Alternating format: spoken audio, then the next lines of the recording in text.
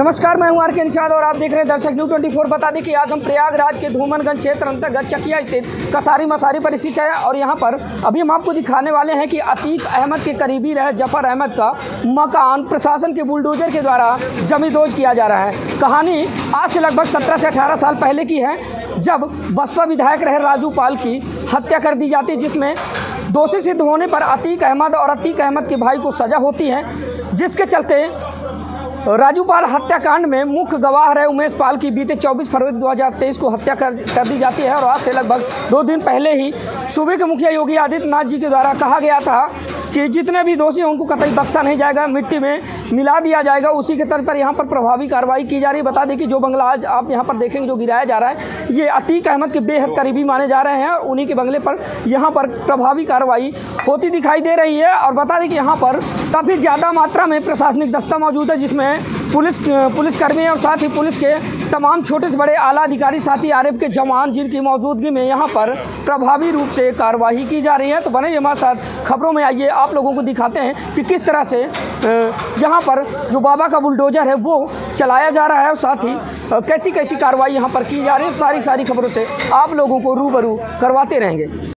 तो ये आप देख पा रहे हैं, ये तस्वीरें हम आपको प्रयागराज के धूमनगंज क्षेत्र अंदर अंतर्गत चकिया स्थित कसारी मसारी से दिखा रहे हैं, जहाँ पर बता दें कि आज उमेश पाल हत्याकांड के मुख्य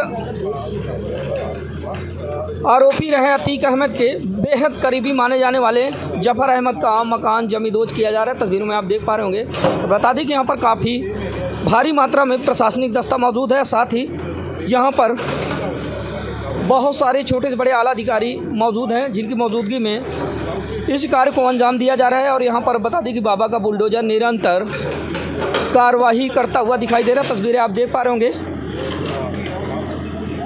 बता दें कि जिनका मकान गिराया जा रहा है, ये अतीक अहमद के बेहद करीबी माने जा रहे हैं। कहानी आज से लगभग 17 से 18 साल पहले की जब प्रयागराज में पूर्व बसपा विधायक रहे राजू पाल की हत्या कर दी जाती है, जिसमें दोष सिद्ध होने पर दोषी अतीक अहमद और उसके भाई को जेल हो जाती है, जिसके बाद राजू पाल हत्याकांड के मुख्य गवाह रहे उमेश पाल को भी बीते 24 फरवरी 2023 को बीस सड़क में खुले आम शूट आउट कर दिया जाता है, जिसके चलते प्रशासन प्रशासन हरकत में आया और प्रभावी कार्रवाई करते हुए यहाँ पर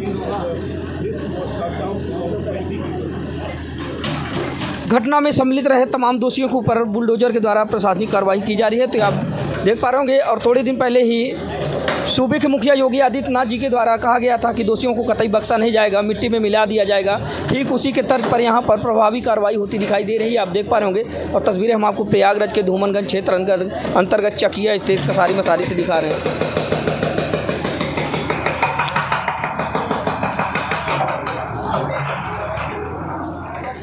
तो ये आप देख पा रहे हैं तस्वीरें।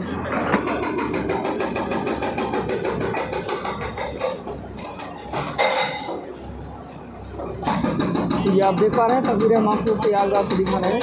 किस तरह से प्रशासन का बुलडोजर बीते 24 फरवरी 2023 को प्रयागराज में हुए शूट आउट, यानी कि राजूपाल हत्याकांड के मुख्य गवाह रहे उमेश पाल की हत्या कर देने के बाद आरोपियों के घर पर किस तरह से प्रशासन का बुलडोजर चलाया जा रहा है, आप देख पा रहे होंगे और बता दें कि यह अतीक अहमद के बेहद करीबी माने जाने वाला जफ़र अहमद का घर है, जिसके घर में आज प्रशासन का बुलडोजर चलता दिखाई दे रहा है। तस्वीर आप देख पा रहे हैं, बता दें कि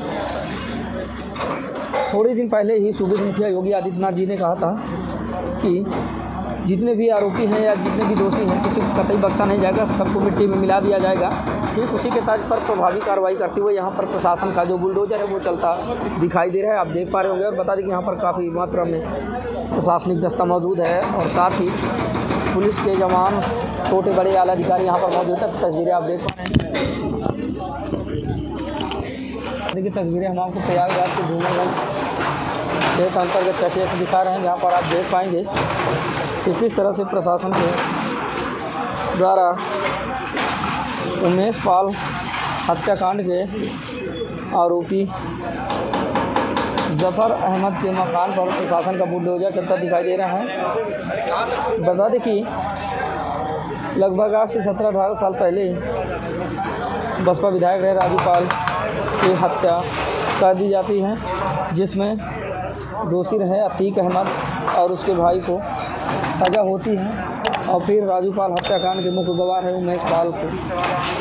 बीते 24 फरवरी 2023 को दिन दहाड़े मौत के घाट उतार दिया जाता है, यानी कि शूट आउट कर दिया जाता है, जिसके बाद उत्तर प्रदेश सरकार, यानी कि सूबे के मुखिया योगी आदित्यनाथ सहित पूरा प्रशासन हरकत में आया। उसके बाद प्रभावी प्रभावी कार्रवाई करते हुए आज आरोपियों के मकानों को जमींदोज किया जा रहा है और साथ ही कुछ दिन पहले ही के मुखिया योगी आदित्यनाथ जी के द्वारा कहा गया था कि किसी भी आरोपी को और किसी भी दोषी को कतई बख्शा नहीं जाएगा, मृत्यु में मिला दिया जाएगा। ठीक उसी के तर्ज पर कार्रवाई यहाँ पर होती दिखाई दे रही है। आप देख पा रहे होंगे, आज किस तरह से आरोपियों के घरों पर, मकानों पर प्रशासन का बुलडोजर चलता दिखाई दे रहा है। ये आप तस्वीरें देख पा रहे हैं।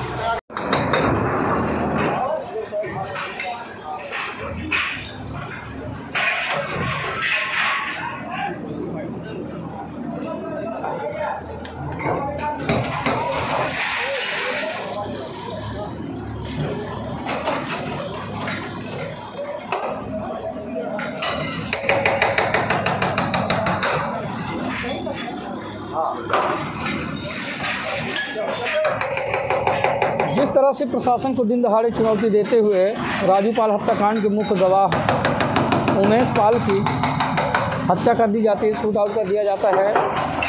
उसके क्रम में प्रशासन जैसे हरकत में आया तो आज देख रहे हैं उसका अंजाम क्या है। यहाँ पर प्रशासन का बुलडोजर चलता दिखाई दे रहा है। और थोड़े दिन पहले ही सूबे के मुखिया योगी आदित्यनाथ जी ने कहा था कि जितने भी आरोपी हैं, जितने भी दोषी हैं, उनको कतई बख्शा नहीं जाएगा, मिट्टी मिला दिया जाएगा, उसी के तर्ज में आज अतीक अहमद के बेहद करीबी माने जाने वाले जफ़र अहमद के मकान पर प्रशासन का बुलडोजर चलता दिखाई दे रहा है। आप देख सकते हैं, करीब 30 परसेंट मकान जमींदोज कर दिया गया है। कार्यवाही निरंतर जारी है। अभी भी प्रशासन का बुलडोजर यहाँ पर निरंतर मकान को तोड़ता दिखाई दे रहा है। आप तस्वीरों में देख पा रहे हैं। बता दें कि यहाँ पर काफ़ी भारी मात्रा में प्रशासनिक दस्ता मौजूद है, जिसमें पुलिस के जवान, पीएसी के जवान, साथ ही आर के जवान यहाँ पर अपनी मुस्तैदी बनाए हुए हैं। प्रशासनिक मुस्तैदी के बीच में मकान को कुछ इस तरह से जमींदोज किया जा रहा है। ये आप देख रहे हैं, तस्वीरें हम आपको प्रयागराज के धूमनगंज स्थित चकिया के जफ़र अहमद के मकान की दिखा रहे हैं। तो आप देख पा रहे हैं, तस्वीर, तस्वीरें कुछ ऐसी हैं। और ये चकिया के कसारी मसारी स्थित मकान का है, जहाँ पर अतीक अहमद के बेहद करीबी माने जाने वाले जफ़र अहमद का मकान है, जिसको आज जमींदोज किया जा रहा है।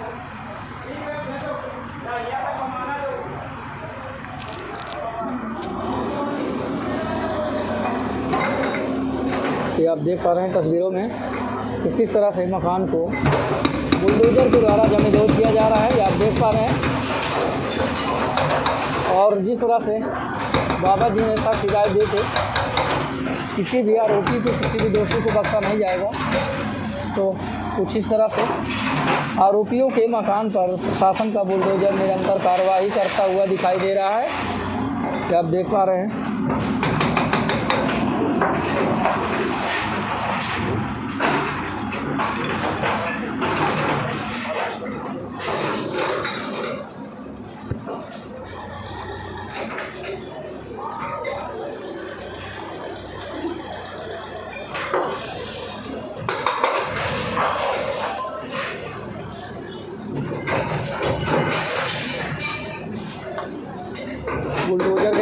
ज़फ़र अहमद का मकान गिराया जा रहा है, जो अजीत अहमद का बेहद करीबी माना जाता है।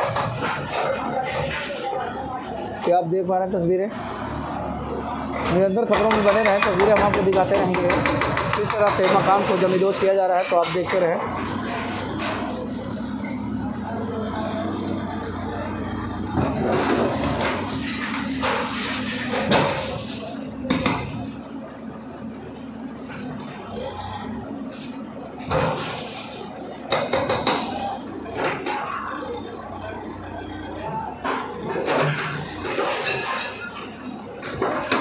आरोपियों को प्रशासन से पंगा लेना पड़ा भारी।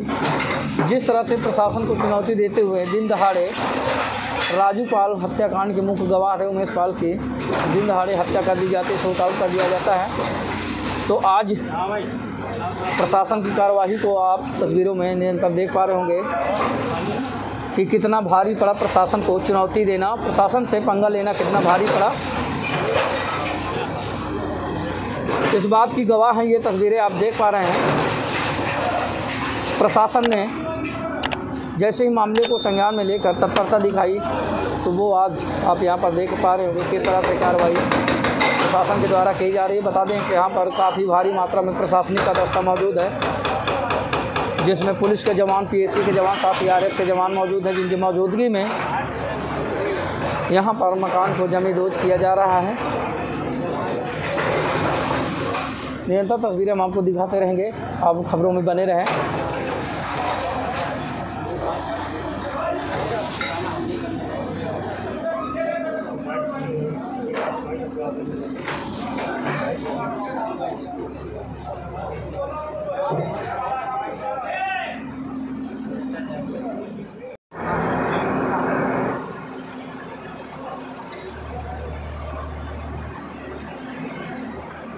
शायद इस खबर को देखने के बाद अब कोई भी आरोपी इस तरह की घटना को अंजाम नहीं देगा, लेकिन आप देख पा रहे हैं जिस तरह से प्रशासन का बुलडोजर निरंतर यहाँ पर प्रभावी कार्रवाई करते हुए आरोपी ज़फ़र अहमद के मकान पर प्रशासन का बुलडोजर चलता दिखाई दे रहा है। तस्वीरों में देख पा रहे हैं निरंतर मकान को जमींदोज करने के लिए जो प्रशासन का बुलडोजर है, वो जमींदोज करता नज़र आ रहा है मकान को।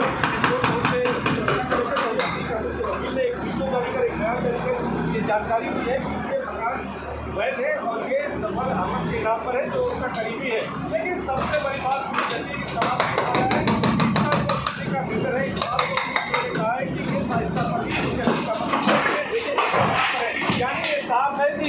है जो है, वो अतीक अहमद की बेनामी संपत्ति हो सकती है और इसी बेनामी संपत्ति पर चलाने की कार्रवाई यहाँ पर पीडीए की की जा रही है। और ये दो मंजिला जो अधिकार मकान था, जो करीब दो सौ वर्ग मीटर से था और इसकी कीमत करीब ढाई से तीन करोड़ रुपए है। इसको अब ज़मीन दोष किया जा रहा है और यहाँ पर ये कार्रवाई आप साफ़ तौर पर देख सकते हैं, ये कार्रवाई ग्यारह बजे यहाँ पर टीमें पहुँची थी। उसके बाद कार्रवाई यहाँ पर जो हुई थी, मकान का सामान निकाला गया। उसके बाद यहाँ पर लगातार बुलडोजर से कार्रवाई चल रही है। और अब तक जो ये आगे का हिस्सा आप देख सकते हैं, ये पूरी तरह से यहाँ पर ध्वस्त कर दिया गया है। ये कार्रवाई अभी कम से कम दो से तीन घंटे और चलेगी ऐसा माना जा रहा है। जब ये पूरा मकान ध्वस्त हो जाएगा, उसके बाद ये तीसरी बड़ी कार्रवाई है, क्योंकि पहली कार्रवाई अगर हम बताएँ तो उमेश का हत्याकांड में एक जो आरोपी था चार क्रेटा कार का जो ड्राइवर था, उसको सबसे पहले मुठभेड़ में मार दिया गया पुलिस ने। दूसरा एक सदाकत खान नाम के आरोपी को जिसके कमरे में बैठकर ताली रची गई और अब कोर्ट से और ये कार्रवाई हो रही है। आप देख कार्रवाई में किस तरह से चल रहा है? Thank